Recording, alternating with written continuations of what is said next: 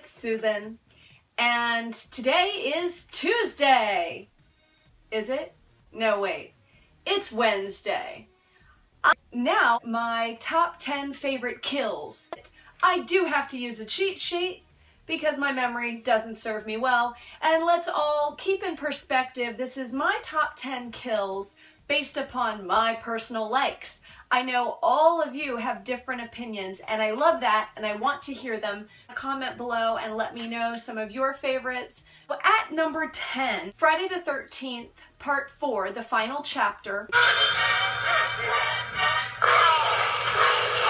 is one of my favorites. Also, obviously, Crispin Glover.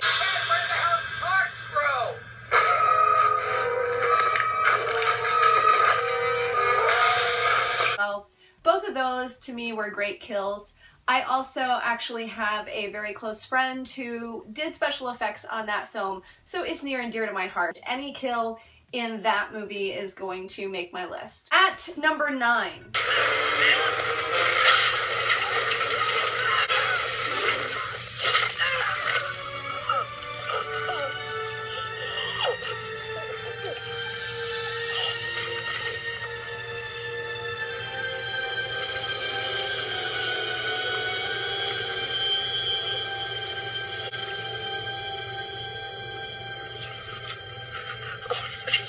Hell.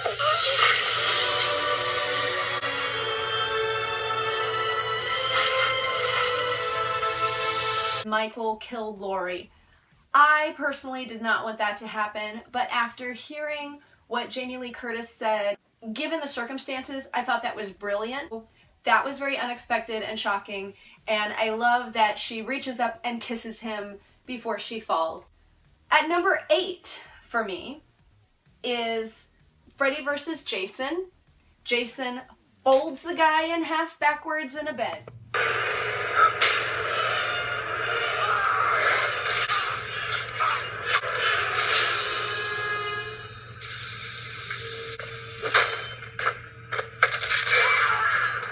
Don't think for one minute that someone somewhere has not thought about doing that. At number seven, from the original 1978 John Carpenter's Halloween, we all know it's my favorite. I'm gonna play favorites here, I can't help it. Is The Killing of Bob.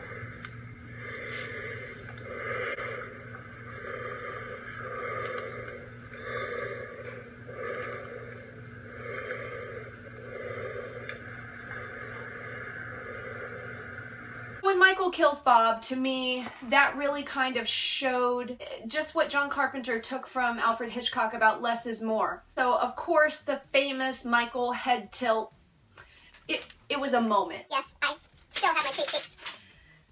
At number six,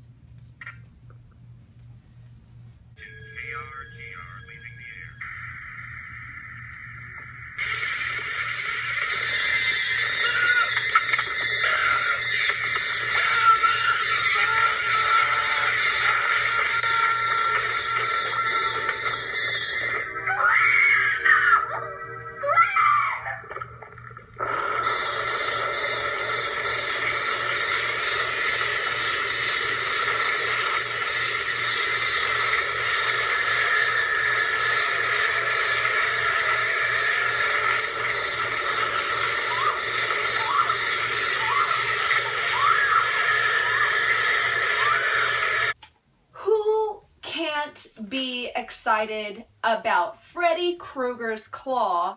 Oh, wait, I've got one right here. What do you know? Can you see that? Okay. Uh, who cannot be excited about Freddy Krueger's claw pulling someone down into the bed and a river of blood splashing out of it, sucking it back in? I mean, come on. At number five.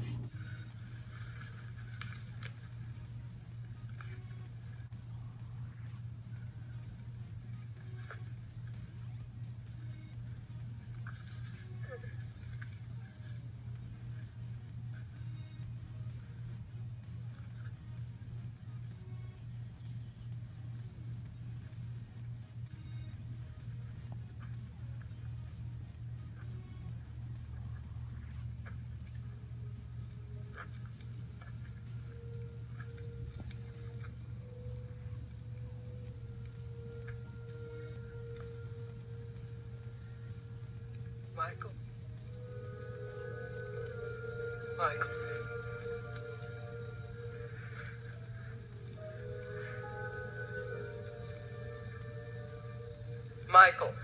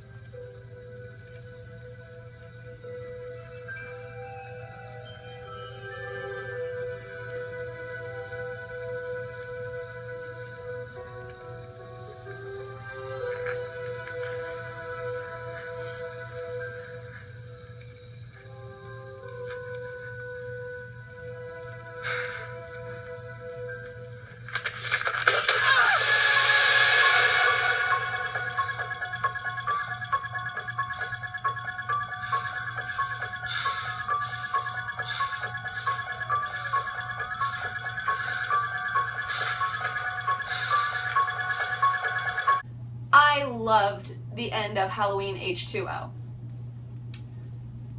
If that franchise truly had to quote unquote end, that would be my ending. At number four,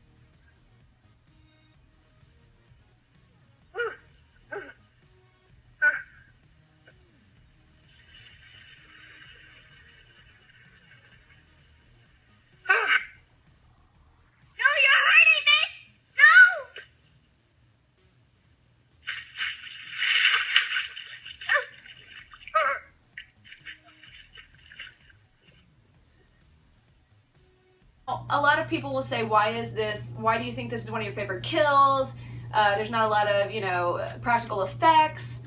There's not a lot of blood. This one to me illustrates the classic movie monster that was created. He did not ask to be created, and he was trying to assimilate and understand. It's with no malicious intent.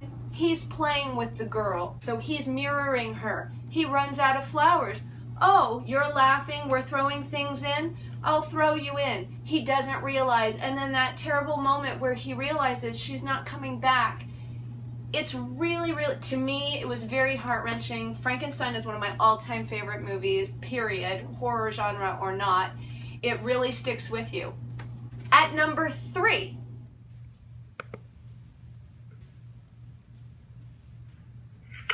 I gotta fix this watch for tonight. We're defending the championship. Before they leave to the bank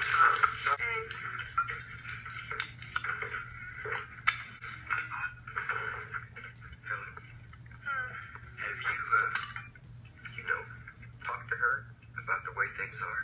Years ago. Years. What do I want to see no parts for? Come on. It's rough. It's rough. It's rough. My country's back on you. Silly thing to ask you, but how many of what did they have to kill? Don't say that because I'm a, I love animals. Did you ever go to any kind of acting school? Not in the beginning. I, I started a talk show, you know. But when a young actress says, how do you succeed in this business, you don't always say you have to study. I think you should study. You got to study, work, and then maybe you can make it. Can I ask you something?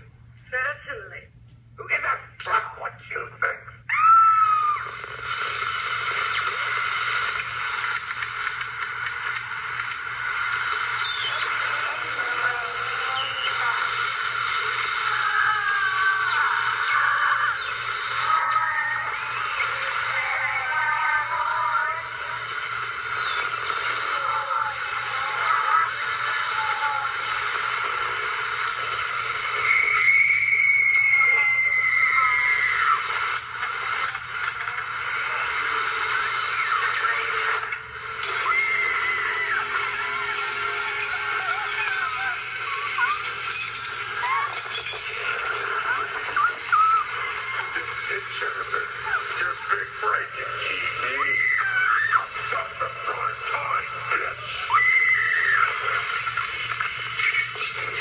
Nightmare on Elm Street 3, Dream Warriors, Jennifer's Death, Welcome to prime time, bitch.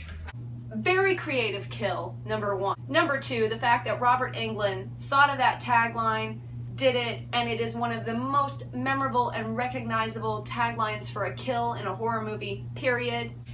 At number two,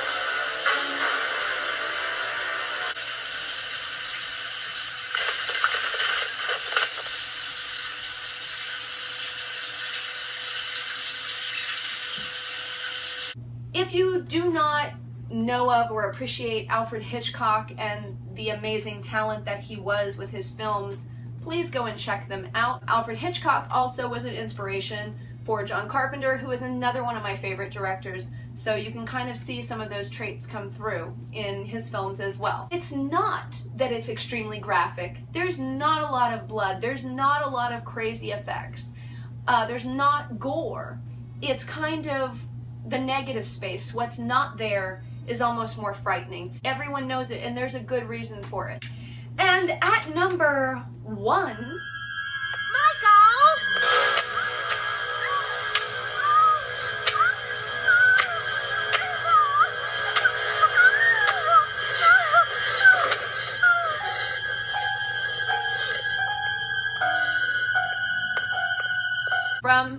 1978, John Carpenter's original Halloween, Michael killing his sister. The reason I picked this for my favorite kill is because seeing the kill through Michael's point of view behind his mask is genius. It elicits a different response from the viewer. That is why that is my number one favorite horror movie kill. There's my list. Have at it. Let me know. Do you hate it? Do you love it? I want to know. What are your favorite kills? I know. I don't have any Texas Chainsaw Massacre in here. I don't have extra. Let me know down in the comments below. What are your top 10 favorite horror movie kills? Thank you for watching, and I'll see you on the next video.